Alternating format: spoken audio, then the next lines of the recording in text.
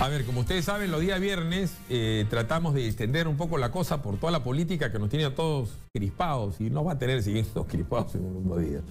Vamos a hablar de, moda, de textiles, de negocio, de industrias, eh, con eh, José Miguel Dalivia, que es uno de los gurús de la moda acá en el Perú. Y lo primero que le pregunto es cómo va la moda. O sea, nosotros estamos copiando todo. ¿Cómo, está, cómo están los negocios en Gamarra? el Lima Fashion Week pega. Este, hay nuevos diseñadores solamente copiamos lo que viene afuera. Eh, ¿Cómo va la cosa? ¿Cómo va el negocio? ¿Cómo va la industria de la moda en el Perú, José Miguel? ¿Cómo estás? Bien, Filipe, ¿cómo estás? Eh, bueno, la, industria de la moda está haciendo lo que puede, porque además la economía nos ha tenido de arriba y para abajo. Eh, pero en el tema del diseño, creo que no estamos promoviendo a la gente joven.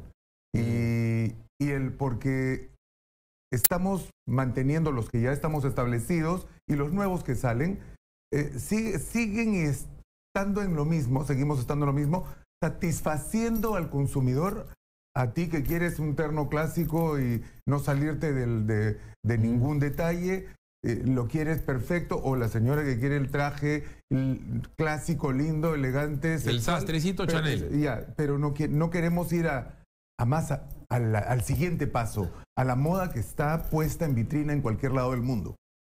Y me involucré con Desafío Rey, que es un concurso de, de diseño joven, porque esto es el semillero para las nuevas generaciones, la gente que va a proponer la moda del 2021 y en adelante.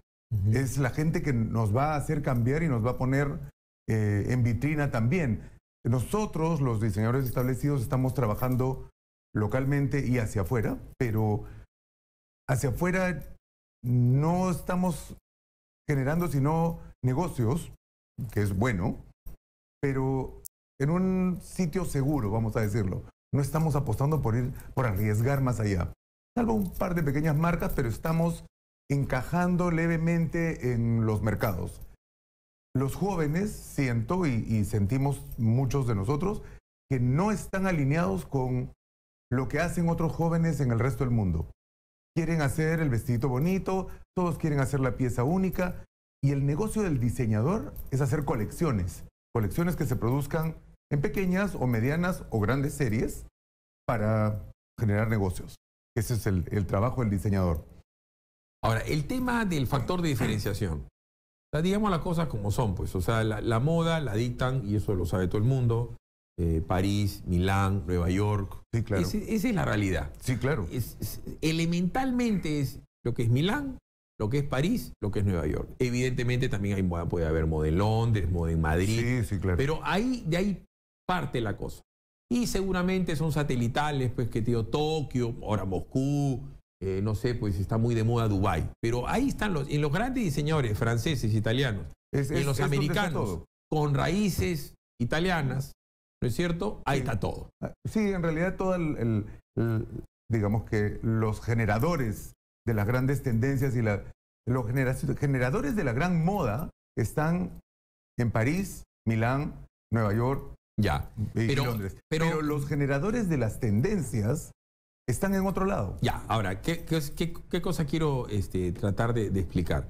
Que una cosa es la alta costura, ah, el, vestido de matrimonio, el cóctel, el gran terno, que dicho sea paso, en moda de hombres no hay realmente nada significativo en los últimos, ¿qué? 50 años, ¿no? Tienes que ver esto.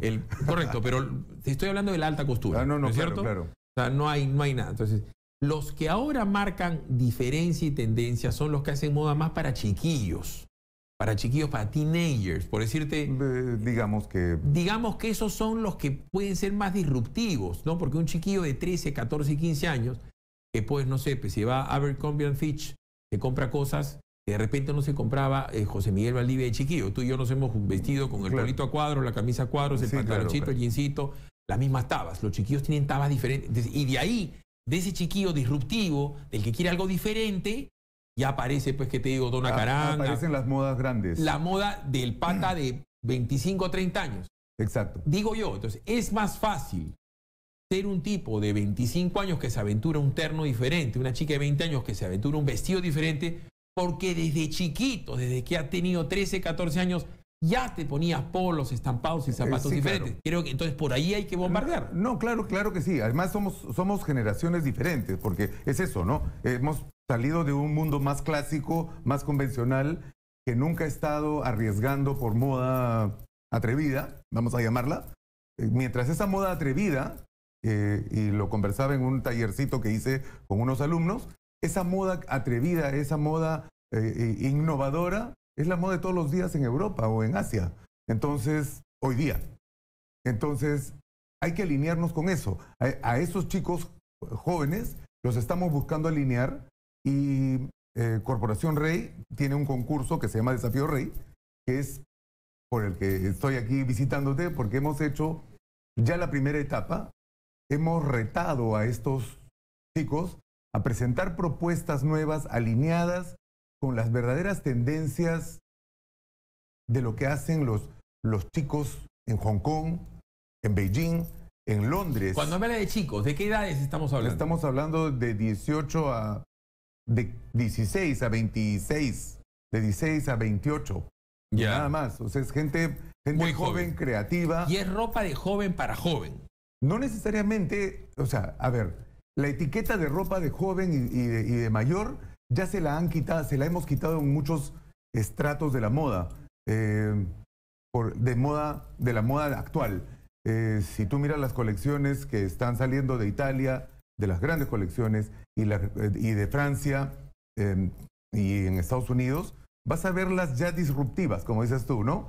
Eh, estas cosas envueltas o estos sacos medios asimétricos o parchados o materiales que tú no ibas a pensar en usar como plástico o plástico plástico eh, duro rígido eh, cortado de alguna manera o nylons eh, peluches en hombre en mujer no importa no importa el, el- el- consumidor cons- toma todo ahora en estas propuestas nuevas de moda no entonces hay que cambiar. La, la moda tiene que ver con el diseño de, vamos a decir, con el corte, el tamaño, este, la línea, pero la moda también tiene que ver con el color y tiene que ver con la textura y tiene que ver además con el tipo de tela. Por dar un ejemplo, yo en este momento estoy con un saco que es eh, técnicamente igualito al tuyo, solo que el tuyo claro. es, es negro, con unas rayas, exacto es diferente desde el punto de vista de la tela que lo hacen hecho, de la hechura que lo han hecho. Y yo tengo uno que es de algo parecido al terciopelo que no lo es. Ajá. Estamos vestidos diferente. Eh, sí, claro, estamos vestidos diferentes. En el hombre, esos temas del saco a veces de lejos parecen, parecemos todos iguales.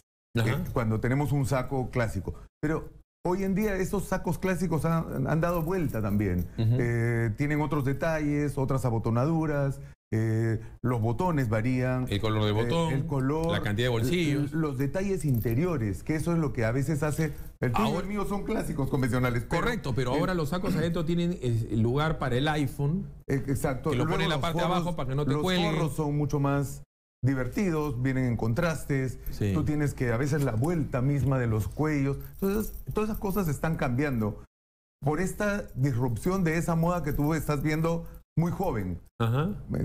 La moda más clásica eh, se está modernizando, vamos a decirlo, ¿no? Ajá. Entonces tú miras una colección de Margiela y, y tú ves que estos cosas envueltas, estos cinturones extra grandes, estas cosas bolsudas, y dices, ¿esto quién va? Siempre hay un tema estético, entonces cada uno va a tomar, no porque esté de, de moda o porque el diseñador diga, tú vas a tomar algo que te acomodó y te funcione para ti estéticamente. En Gamarra, en los centros de la moda del Perú, ¿están copiando mucho o tú crees que hay algún tipo de, de, de- de inspiración?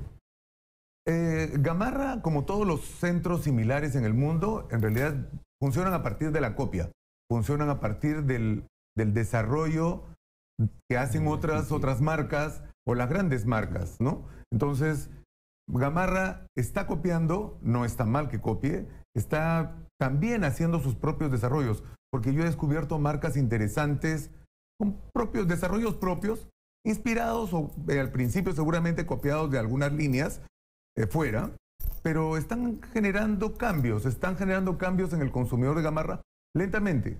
Eh, no muy fuerte, porque Gamarra es un centro de producción de confecciones, no es el centro de producción de la moda, como a veces queremos llamarlo. Acá en el Perú hay centro de producción de la moda, hay sitios. Rey es una fábrica, entiendo, importante de cierre, ¿cierto? Exacto, sí. La famosa marca de cierres Rey.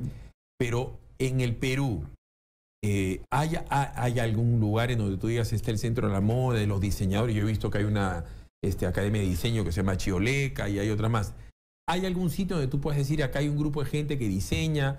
Por dar un ejemplo, en Cierres Rey, sería fabuloso ver toda la chamba en, eh, de, invierno con las casacas como le gustan aquí, Quebrado Prado, con los cierres que van en cruzado, con cierres largos para el codo, ese tipo de cosas. Bueno, Renzo Costa, por dar un ejemplo, que tiene, tiene diseñadores. ¿Ellos hacen sus propios diseños o también copian? No, yo creo que ya tiene, o sea, en el tema industrial hay que hacer un mix, hay que trabajar con diseños propios y que se adapten o estén siguiendo las tendencias comerciales del, mundo, vamos a decir, ¿no? Y yo no podría decir que copian directamente, pero hacen desarrollos a partir de eso. Rey es una fábrica que, como tú dices, ese cierre que tú quieres, brillante, dorado, plateado, este, satinado, lo que tú quieras, están adaptando esas cosas, esos productos a lo que ya necesita el mercado local e internacional. Las escuelas, y yo tengo en, este concurso finalistas de, varias, porque no tenemos un solo centro donde nos juntemos. Hay una eh, asociación que es la Alianza de Diseñadores, donde estamos comenzando a juntarnos, ah, eh, pero escuelas hay muchas y están empujando a sus alumnos a ir a un paso más allá. Eh, en mis finalistas tengo gente de de Ancimar, que es una escuela que a veces no les hemos escuchado, de Modabel, de Slam, de Nina Design, de Toulouse-Lautrec, de que tiene ahora un, un, tema de diseño de moda, de Chioleca, de Intesi, y del propio Senati, donde tú de repente no pensabas que iba a aparecer una, una, escuela de diseño. Y, creo que hay potencial ahí. Entonces, estamos tratando de unir, y la única manera de unir o hacer ese centro es eh, a través de concursos como Desafío Rey, donde nos juntamos, donde hacemos, a través de Perú Moda, donde nos juntamos y, proponemos. En todo el tema de las casacas, eh, aquí que, que le gusta las casacas de esa naturaleza, creo yo, las mejores casacas del mundo las hace un patita que es un diseñador, se llama John Barbatos, con pechica.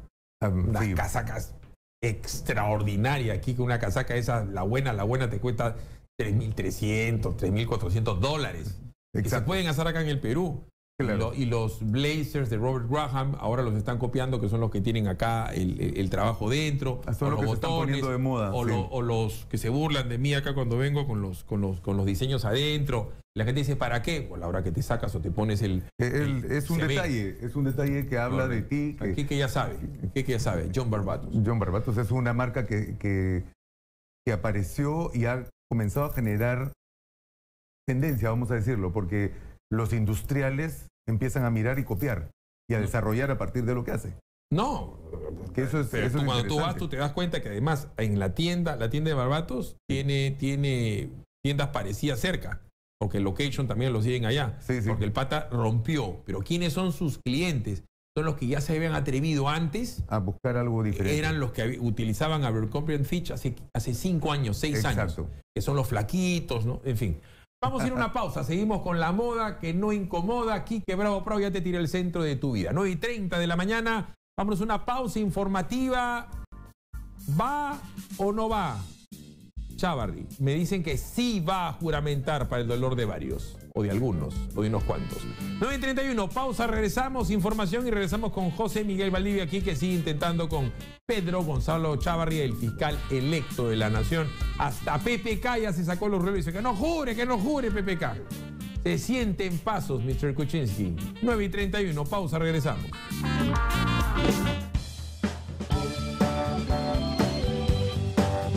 Presta Club te asesora para que obtengas el financiamiento que necesitas aunque estés en Infocorp y sin demostrar ingresos.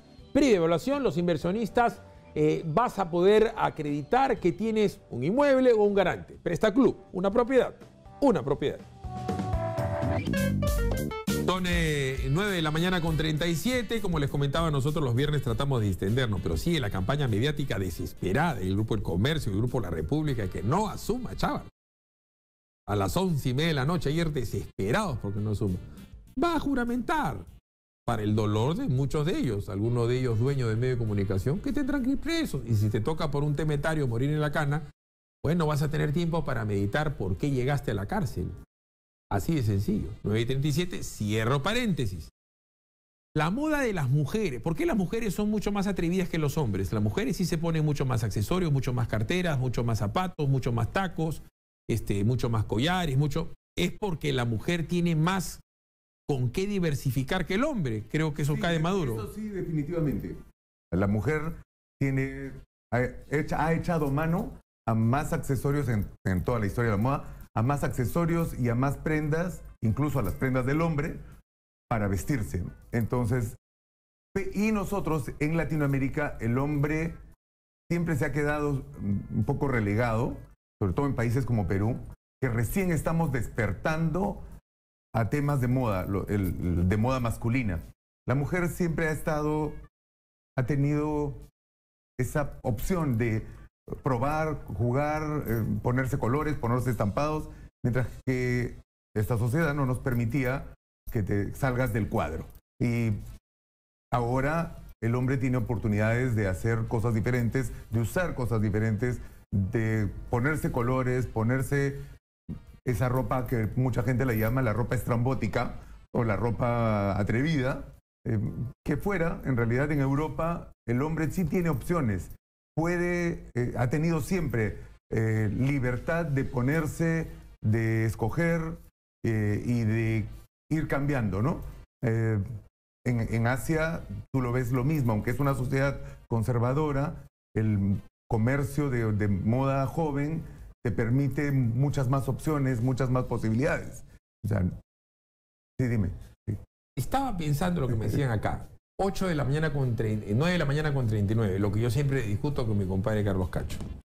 Que no hay moda para peruano, porque los peruanos no somos altos ni flacos. Estoy, antes hablé de marcas muy conocidas, ¿no? La moda Sí. Chanel es por señora flaca, larga, ¿no? Este, la moda, pues, de no sé, de un famoso francés, Jean-Paul Gaultier, tiene que ser flaco y largo, pues si le pones la cantidad de cosas que te pone encima, pareces un, un equeco, ¿no es cierto? Parece ser, Eh, claro. Entonces, eh, Abercrombie and Fitch para los chiquillos tienen que ser flaquitos, las chiquillas tienen que ser flaquitas. Mira hasta lo que llega ahora de Sara, que es una empresa que copia un montón de moda y la recicla. la recicla, exactamente. Correcto, eso es lo que es Sara, pero todo es para flacos. Entonces, claro, si tú eres flaca, longilínea y tienes el cuerpo de Milet Figueroa, prácticamente, como en el caso de Marilyn Monroe, te pones un saco de papas encima y se te, te va a ver bien. va a quedar bien. Ya, pero y para los chicos peruanos y para las mujeres peruanas, El, el latinoamericano ha aprendido a adaptar la moda a sus, a sus proporciones. Igual que los asiáticos, ¿ah? O sea, en un, en un primer momento no había esta ropa para, para delgaditos y plaquitos. Toda la ropa era un poco más suelta, más grande. Y las tallas europeas y americanas eran más grandes que las asiáticas. Entonces, eh, yo que estudiaba en, en Francia, en las prácticas en, en San Laurent, era, había un departamento que se dedicaba a retallar y Ya. a, y a rediseñar el producto para el mercado asiático, que era mucho más chiquito, más menudito. Ya, pero acá nosotros no somos, o sea, acá nosotros somos chiquitos, pero no menuditos. Los hombres somos medio cuadradones, panzones. por eso siempre nos hemos adaptado más a las modas italianas, a la moda española. El, el- el único cambio que ha habido en la moda es que la- los productores de moda se han concentrado en estos mercados jóvenes muy delgados, de siluetas muy delgaditas, muy flaquitas, para vendernos otra imagen. Eh, entonces, claro, los más grandes no vamos a entrar ahí. Si ya eres un 32 o un 34, es difícil que tengas entrada en estas nuevas marcas eh, de fast fashion. Pero en el caso de un Abercrombie, que tú lo, lo mencionas, es una marca americana. Ellos van a hacer todas las tallas, Ya. porque tienen un mercado muy grande Ya, y pero, de tallas grandes. pero espérate, en Abercrombie, ahí, ahí, ahí, este, sin ánimo de corregirte, o sea, en Abercrombie no hay ropa para gordos. No, no, no. Pero para, Abercrombie hace, para grandes sí, pero no, no para no es gordos. para gordos, ¿ah? Ellos, al contrario, hicieron toda una campaña en donde no querían gordos y se generó en Estados Unidos una Sí, corriente sí. en contra de ellos, Porque claro, decían que eran discriminatorios. ¿Es Sí, cierto? pero es- En Barbatos no hay ropa para gordo. Yo me he comprado esa ropa recién ahora que soy flaco. Antes la miraba y decía, Ah, qué bueno, bacán bueno, esa ropa. No bueno, entraba. Para, para esas tallas no, pues. Eh, Boss solamente para hacen hombres. hasta 32 o 34. Hermano, te, te lo dice un gordo, pues, este, un conocedor del tema. Hugo Boss no, No. es para gordos. No, no, no. Definitivamente no. Eh, Si O eres sea, si pasas 34 ya no eres, ya no entras. Ya, entonces, y las mujeres, yo estoy sacando acá la cara por las mujeres, no son crueles las diseñadoras de moda con las gorditas, con las... No digo que haga ropa para gordas, gordas, gordas, ¿ah? Estoy diciendo gordita. La que tiene 5 kilitos, 6 kilitos más, la que tiene el 34C, ¿no es cierto? La señora, pues, que tiene, no sé, pues, 95 de cadera. No estoy diciendo obesa, estoy ver. diciendo peruana. Claro. A ver, hay marcas y hay líneas que hay que encontrarlas y saber. Y el productor peruano ha, ha empezado, ya desde hace mucho tiempo, ¿eh? Empezó a, a adaptarse y adaptar, no sé, la moda de, de, de, de Zara o de Abercrombie o de H&M a las tallas peruanas. Eh, para poderla comercializar y para que todo el mundo pueda tener. En, en realidad, esa es el- la finalidad. En Gamarra me preguntaban eh, sobre el peligro del fast fashion y yo les contesté, si eso es lo que ustedes hacen desde siempre. Claro. Porque se van reciclando y se van reajustando y van proponiendo y van sacando cosas nuevas. Es, es, es un tema de la industria, es un tema comercial. Eh, la moda eh, de estas marcas, que tú dices que solamente para gente delgadita, se replica en otras marcas que no son necesariamente de gente muy delgadita, sino que hacen tallas normales. Entonces, lo que, lo que pasa es que hay que buscar. Me preguntan acá, ¿la falda ya murió para la mujer? Porque la verdad es que cada día es más, uno sale a la calle y, y mira, no te digo ni el 1% de las mujeres usa falda, No, la falda es una es, es la prenda femenina. pero no se Este, usa. Es un tema de comodidad y practicidad el pantalón. Pero sí, se- sí está muy marcado en la moda. eh, hay muchos momentos en los que una mujer sabe y si- que sabe llevar una falda le va a sacar mucho provecho. El detalle femenino, la Pero, silueta. hermano, acá todas las Avengers que trabajan acá con la Judy, la única que viene con, con falda y Judy pues sale televisión. ¿No es cierto? Pero nunca he visto una chica con falda. En una oficina no hay... El sastrecito con falda cada día es menos usado. Y tú vas a la calle y todas las mujeres están con pantalón. Porque el- el- ¿Por qué? Porque es un tema de practicidad. Eh, es como yo le contesto a muchos, a muchos amigos hombres, es, ponte falda y sube un micro, ponte falda y mientras sube, baja al metropolitano.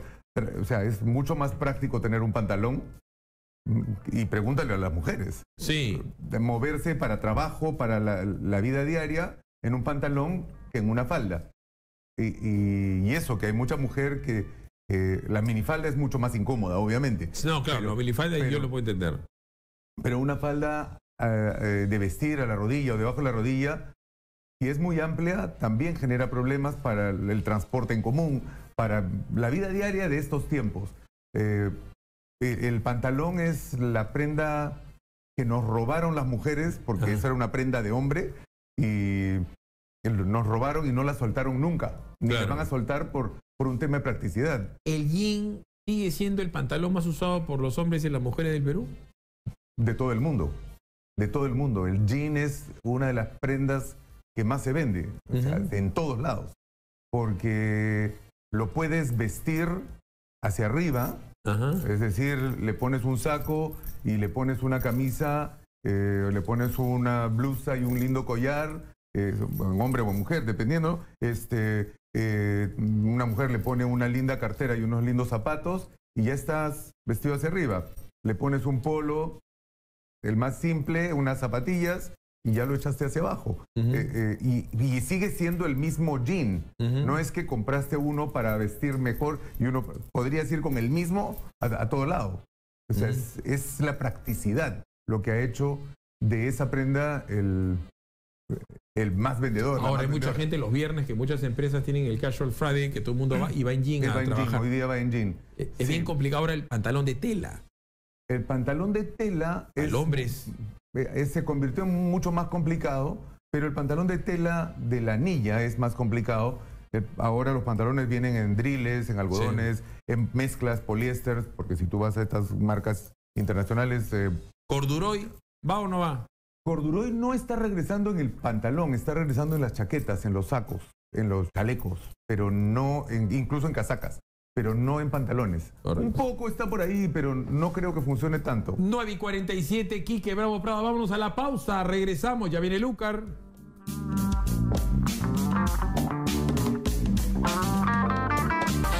Está escuchando algún chico, alguna chica que quiere entrar al mundo de la moda porque le gusta la ropa o porque le gusta el billete, porque acá se puede ganar mucha plata. Exactamente. Es cierto. ¿Dónde, es el concurso? ¿Cómo acceden al concurso? ¿Qué es lo que van a ganar? ¿Van a ganar beca, billete, chamba? Cuéntamelo todo, no me mientas. Nosotros eh, ya estamos en la segunda etapa del concurso. Eh, el concurso está dirigido a estudiantes de diseño de moda. Los hemos alineado con las grandes tendencias del, del mundo. Eh, y con lo que está haciendo sus pares en Londres, en Hong Kong, en Beijing, en, Milán, en Nueva York, en Estambul, donde sea. Eh, ya están los 15 finalistas, eh, a quienes yo felicito porque han quedado, han entrado con propuestas bastante interesantes, muy alineadas y que creo que van a romper un poquito ese esquema cuadriculado que tenemos y van a proponer la moda que te pondrás de aquí en un par de años, algunas cosas, no todas, eh, porque ya sé que no te van a gustar todas. Sí, claro, yo soy, yo soy más o menos convencional. Pues. Eh, pero eso es parte de la moda, o sea, los diseñadores te vamos a proponer y estos diseñadores te van a proponer cosas que hoy día te parecen atrevidas y en dos años tú vas a decir, ah, me, la voy a poner normal, porque sí encaja en tu estilo. Y estos chicos eh, han salido de diferentes escuelas han hecho propuestas. Estamos, eh, síganos en el Facebook, en eh, Desafío Rey y en el Instagram también. Estamos ya poniendo, eh, apareciendo con ellos en Facebook y en Instagram con las propuestas, porque vamos a generar un pequeño concurso para los que nos sigan y, sigan a estos chicos, sus favoritos. Tienen que votar por sus favoritos. Son chicos y chicas que pueden ir a votar. Sí, chicos y chicas. los, los finalistas eh, hay chicos y chicas que están en el mismo grupo. ¿Todos son de Lima? ¿Es a nivel nacional? Eh, el concurso lo abrimos a nivel nacional eh, buscando participantes de, provincias. se presentaron algunos, pero creo que si no los empujamos no, no van a, aprobar. Este año no quedó ninguno, el próximo año estoy seguro que sí. ahí tienes a Morelia, Harold, Stephanie, Carlos, Jessica, Jocelyn, Lidbert, Rodrigo, Kimberly, Nelly, Suse, María José, Naisha, Vivian y Angie, que son nuestros finalistas, y ellos están ahorita ya preparando sus trajes. Vamos a tener varias charlas con ellos para trabajar su, propuesta, para, trabajar diseño y desarrollo. Eh, el premio grande del concurso lo pone Sierra Rey, que es un monto significativo. Eh, luego hay un intercambio en la UDEM de Monterrey hay un premio a la mejor ilustración, eh, hay otros premios eh, como sesiones de fotografía que no se han hecho antes, darles más importancia porque son los, las armas que ellos van a necesitar para luego hacerse conocidos, porque muchas veces en estos concursos los chicos salen, hacen y desaparecen. Y yo creo que este es el momento de darles oportunidad. La Corporación Rey ha pensado... De todo tipo de ropa. La propuesta es, se llama texturas urbanas. Entonces, si a ti el tema te habla de hacer ropa formal, entrarás con ropa formal. Si a ti te hace... Una chompa con cierre. ¿Tiene que tener cierre? El concurso lo, generó Cierre Rey y sí, buscamos que eh, nos muestren la utilización del cierre. Porque yo tengo una chompa, no la uso casi nunca, que tiene con cierre, que tiene cuero y, lana, por decirte. Sí, claro. Eh, que son súper prácticas. Una preocupación, lo de la chompa, ¿está muriendo la chompa por esta cuestión de las de los puntos sintéticos, aunque me decían que estaba mejorando el tema de la exportación de, alpaca en el Perú. ¿En qué va la chompa? Tampoco se ve mucha gente con chompa en la calle. No, sí hay chompas en, en la moda en este momento. La chompa está en dos extremos. O súper ligera, delgadita, casi como un polo, que está básicamente dirigido al, mercado femenino. Y luego está el gran chompón, la chompa de hilo grueso, que están haciéndose con mezclas. Fuera las hacen con mezclas. Nosotros tenemos el privilegio de tener fibras naturales eh, y finas como la alpaca y, el algodón eh, natural, y el algodón pima y el algodón de, este, eh, oriundo del norte, el que viene en colores naturales. y podemos hacer las chompas en estos materiales, pero afuera lo que están haciendo son mezclas que van a dar una sensación de las fibras naturales.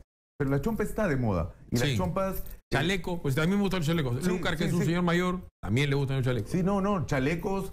Bufandas. Los, chalecos, las, bufandas.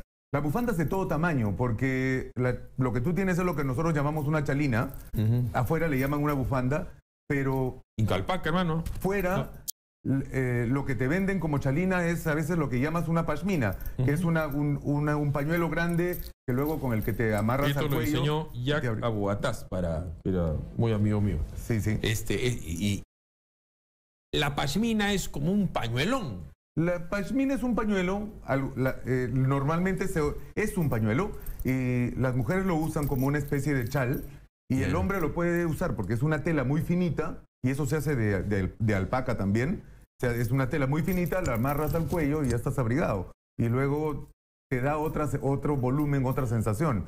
No es la tira, mm, la estola de, ceremonial que tiene que, que, es la chalina. Correcto. Entonces, eh, en este concurso lo que estamos haciendo es cambiarle un poco el, la visión de los jóvenes. Y estamos sacando una promoción que yo creo que de aquí saldrán los nuevos nombres dentro de dos o tres años. ¿El peruano consume bien la moda hecha por peruanos? O sea, ¿son económicamente viables los proyectos de los diseñadores peruanos? ¿O se dedican a la hora de la hora a, abastecer una elite? No, yo creo que hay diseñadores que han, que han preferido mantener este tema de la elite eh, por un tema de estándares, del producto y que la elite es la que tiene plata, no es la que vive en un lado y en otro, ¿eh? es, la, que, la que puede pagarles. Eh, estamos nosotros que estamos generando colecciones eh, de lo que se llama preta porté, eh, unas más con más posibilidad de que sean más grandes, otras que sean más cortas, más chicas, que siguen siendo selectas, pero se hacen en serie. y luego hay jóvenes diseñadores que están comenzando con, con colecciones asequibles para un público joven y, y, de ahí van a salir estos, de aquí van a salir esos chicos. Y esos chicos irán creciendo. Esas marcas jóvenes tienen que crecer, consolidarse y generar ese producto peruano de diseño que debemos vender como marcas. No, no porque sea diseñador es solamente la pieza única, sino que el diseñador realmente es el que genera colecciones. Y esto es lo que estamos promoviendo aquí. Y no necesariamente tiene que ser, como te estaba diciendo ahorita, lo de la bufanda, la ropa principal, o sea, el pantalón, la camisa o el saco. Acá en el Perú, por dar un ejemplo, el tema de las medias. Eh, las principales medias del mundo, de las empresas más grandes, en Estados Unidos hay una marca muy famosa que se llama Johnson Murphy, las medias son peruanas, diseñadas por peruanos. Los colores son peruanos. En todo el tema de las pasminas, todo esto que nosotros llamamos chullo, en Estados Unidos se llaman Peruvian hats. Peruvian hats. Y en Inglaterra es de hipermoda. Mientras más extravagante, más bacán. Sí, el, el, gorro, en realidad. En Francia le llaman el bonnet peruvian. El bonnet peruvian es lo mismo que el, que, el Peruvian hat. Es, pero no es necesariamente el chullo con las orejeras, es un gorro tejido. Claro. Y, luego ya tú puedes hacerlo como quieras. En los climas tan fríos son Boina peruana, le dicen allá, allá en Francia. En Francia Exactamente qué día es la final. Si ahorita la gente puede entrar a una web, por decirte, o solamente estás en Facebook. Estamos en, estamos en Facebook, en Instagram, eh, como Desafío Rey. Y estamos en la página de Cierres Rey, de rey.com.p. Ahí pueden también seguirnos. ¿Y la final qué día es? La final va a ser el 8 de octubre, porque ahora vamos a empezar a producir los trajes, a hacer las pruebas. Tenemos dos charlas de tendencias especializadas, una y un taller de diseño eh, y de ilustración para los finalistas y una de grande de tendencias a la que vamos a invitar a todos los estudiantes, que va a ser libre, eh, en el camino entre, entre agosto y septiembre. Vamos a, trabajar todo eso. Eh, con, Rey trabaja con los chicos para el desarrollo de sus propios cierres, o sea que van a ser como personalizados, pero con la posibilidad de producirlos si mañana alguien viene y lo mira y quiere comprar. Bueno, también podrías trabajar inclusive con Rey, con la industria del calzado. Una de las cosas que tiene, por decirte, eh, Barbato, es que tiene zapatos con cierre. Sí, claro, claro. Y hay chicas que no, tienen zapatos con cierre al costado o atrás, la y son bien botas, yo he hecho botas y mi- mis cierres los hace Rey. Ajá. Eh, he, he- he trabajado con varios eh, amigos que hacen calzado para, y cuando hemos tenido cierres también van en hombre y en mujer. Eh, el, el Rey es una fábrica que se nos adapta para un producto para todo. es fábrica peruana. es también. una fábrica peruana. Entonces lo que estamos buscando es promover ese producto peruano. Eh, este año estamos trayendo un jurado también internacional. Estamos invitando a expertos de México y de Brasil. Eh, vamos a empezar por Latinoamérica, no vamos a ser muy pretenciosos, pero que den otra mirada y nos critiquen y nos expulguen bien para que seamos competitivos fuera y para que estos chicos puedan luego participar en otras competencias, en otras competencias, en otros concursos. eh, desde ya, este, eh, en Mezclarte es un concurso mexicano de mezclilla, de denim, y con ellos ya estamos en conversaciones para que nuestro ganador desfile con Correcto. ellos y el de ellos venga con nosotros. Entonces vamos a comenzar intercambios interesantes. Sea un gana-gana. Ha sido muy Sí. amable con No, nosotros, José Miguel. Gracias a ti, más bien. Muchas gracias. Son 9 de la mañana con 59, Quique Bravo Prado sigue en reunión la Junta de Fiscales.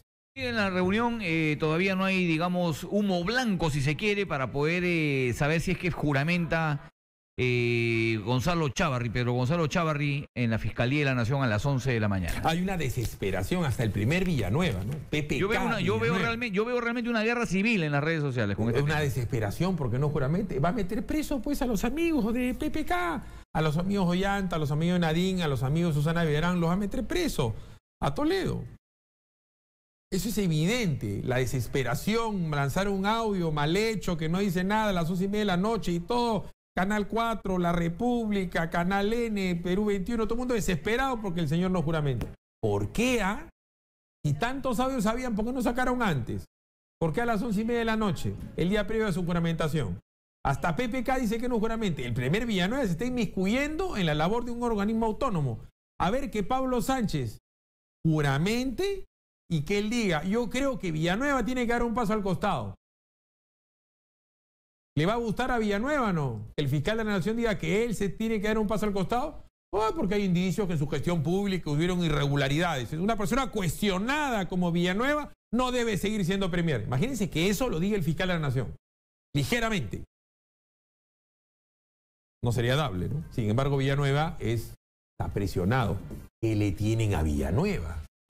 Ese es el tema. Mucho audio puede darse a chantajes o no, señor Premier. 10, 10 de la mañana en punto. Yo, yo me quito de vacaciones, por si acaso, programas hace un- una buena cantidad de meses eh, y estoy regresando la próxima, de esta a la otra semana, ¿no es cierto, Quique? El 30. El 30 estoy aquí. Así que no sean... Sí, avisa porque si no van a creer que te han dado vuelta. No, no, no, me- no, no voy a mandar fotos porque entenderás que a mi tía Chabela no le gusta que la gente vea que tomo lonche con.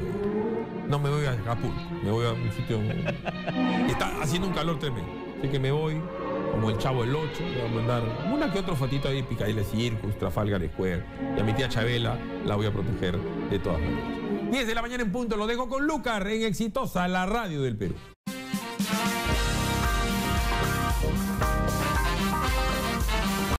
Wow.